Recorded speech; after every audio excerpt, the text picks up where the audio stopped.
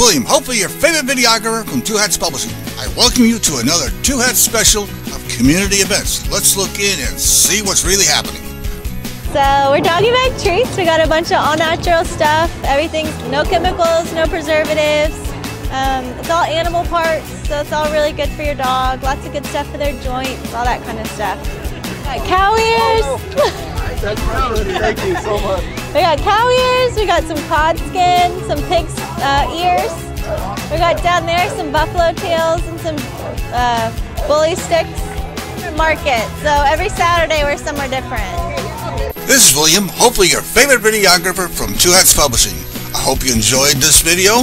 If you like it, please leave comments below or like, follow, or subscribe to us and get notices of all our videos. We love it even when you call.